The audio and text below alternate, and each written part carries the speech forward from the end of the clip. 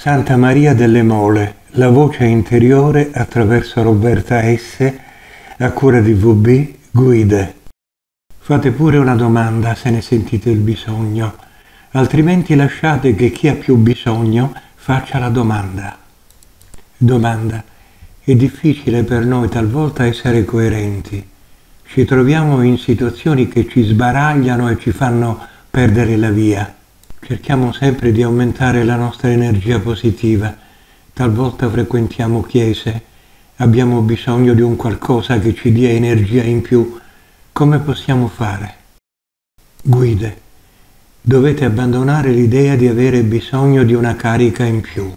Dovete abbandonare quell'idea che vi porta a sentirvi incapaci di raggiungere quello stato d'essere così sublime che ritenete tale perché noi vi diciamo che in realtà voi non avete bisogno di essere sempre felici e sorridenti, voi avete bisogno esattamente di quello che state vivendo ora. Avete bisogno di essere a volte tristi e cupi e a volte sereni e spensierati.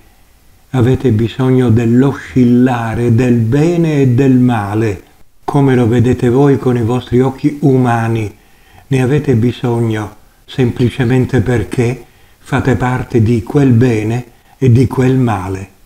Fate parte di una esistenza fatta di tanti colori, non di un solo colore, e volervi aggrappare per forza a una sola energia vi porta inevitabilmente ad evitare quella stessa energia, poiché vi sentite costantemente incapaci, vi sentite non in grado di aggrapparvi a quell'energia, ma è un vostro pensiero e quel pensiero crea questo vostro stato d'essere e di non essere capaci.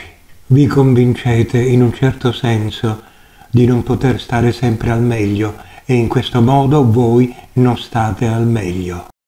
Potete arrivare a vivere quei momenti che ora considerate cupi e tristi con un'altra carica, con un'altra energia e non perché quei momenti tristi e cupi devono smettere di esserci, ma perché voi dovete smettere di avere paura della tristezza e di quello che considerate negativo, perché la vostra paura è indice del rifiuto dell'esistenza così com'è adesso, ossia un'esistenza fatta di molteplici aspetti.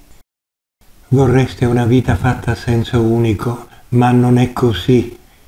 La vita è a doppio senso e voi percorrete a volte un verso, a volte un altro verso. Ma non per questo non siete bravi o non siete in grado di donare amore al mondo che vi circonda.